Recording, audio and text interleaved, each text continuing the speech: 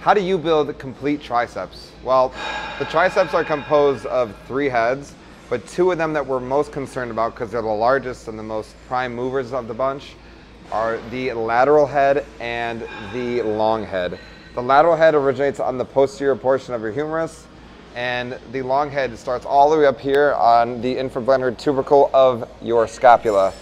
Those two muscles combine to form most of the power that you're creating during tricep movements. So, if you want to build a complete tricep, you got to think about working it from two different angles. Muscles have a length tension curve. Basically, in different lengths, a muscle works the most. So, your long head's going to work the most when it's stretched, because when you're here, you have a full stretch on it, and now it's in that zone where it works really hard. And your lateral head is shorter, and your medial head too, are going to work better with your elbow to your side. So make sure when you're doing triceps, you're combining movements here and movements here. Don't load up everything there because you're gonna miss out on things here and then vice versa. So you want a complete tricep that covers everything.